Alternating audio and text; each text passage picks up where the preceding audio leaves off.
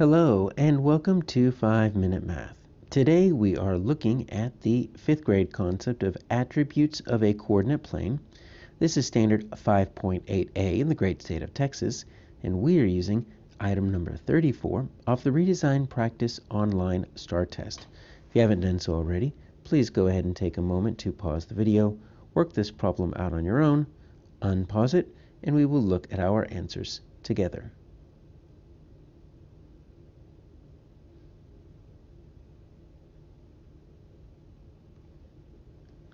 All right, so we have a coordinate grid here, and they just want us to describe and name one thing. So let's get our graph draw feature here. Increase the transparency so we can see behind it, and let's see what they're asking us to describe here. Nice thing is you could still kind of scroll off to the side.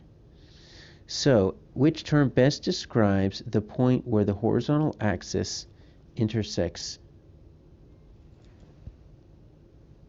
the vertical axis. Okay, so let's make sure that we've got this labeled here. So the horizontal axis, and I will do this in blue here, is this right here, okay? It is also called the x-axis.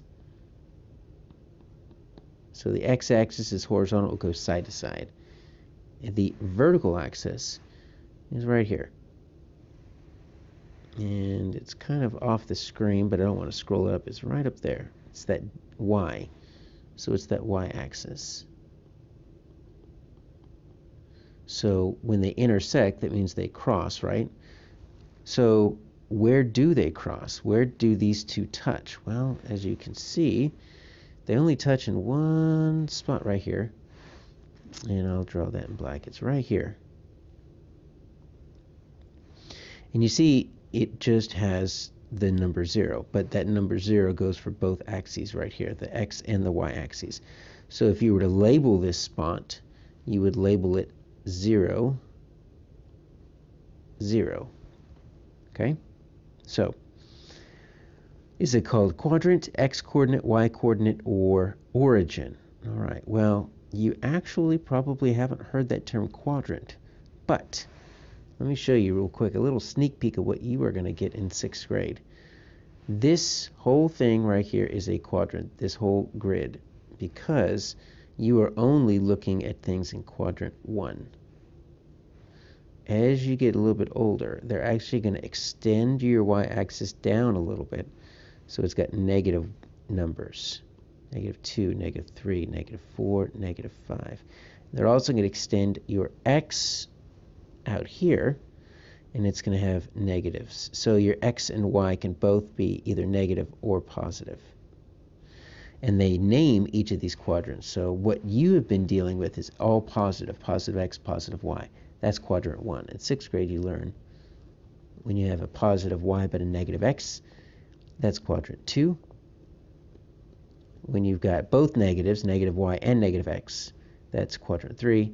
Quadrant 4 over here use Roman numerals is when you have positive x but negative y. So it's not quadrant because we're dealing, remember, with that point right there. So what are x coordinates and y coordinates? Well, if I were to plot a point, so let's say I wanted to plot the point 3 comma 5, right? We would go over the x3, we would go up to the y5, and it would kind of sit right there. 3, 5. Well, the x coordinate is that first number in the ordered pair. That tells you where to move on the x-axis, which means the 5 is the second number in the ordered pair. So it's not that. So that point of intersection is not an x-coordinate or a y-coordinate. Now, if I were to show 0, 0, maybe. So what does that leave? It leaves the actual answer. All right, so the origin is where the two intersect. The origin is always going to have, no matter how many of these you draw, it's always going to have that same coordinate of 0, 0. It's where the two intersect. It's always easy to think of the origin as an origin story, means the beginning or the start. And when you start graphing, you start at the origin, at the 0, 0, and you move over to the x, you move up on the y. So that is your answer, D.